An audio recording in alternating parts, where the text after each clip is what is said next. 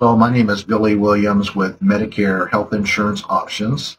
In this video, we're going to give you some instructions about Part B of Medicare. In our previous video, we talked about all four parts of Medicare, so let's just very quickly review Part A and Part B. Part A of Medicare covers you if you're in the hospital or some other similar facility. It could be um, hospice care or a skilled nursing facility or a rehab center. Part B of Medicare is any medical care that you need that is not a stay in the hospital. Part A of Medicare is automatic and it's free. You will get Part A of Medicare when you turn 65. Nothing that you have to do to get it, nothing that you have to pay to have it.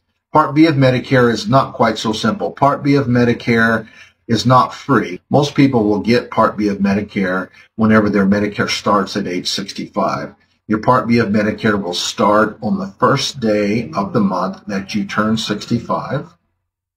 If you are already getting Social Security payments, you will automatically be signed up for Part B of Medicare. If you are still working and you have insurance at work and you do not need to get Part B of Medicare yet, you will have an option to opt out of getting Part B of Medicare at that time.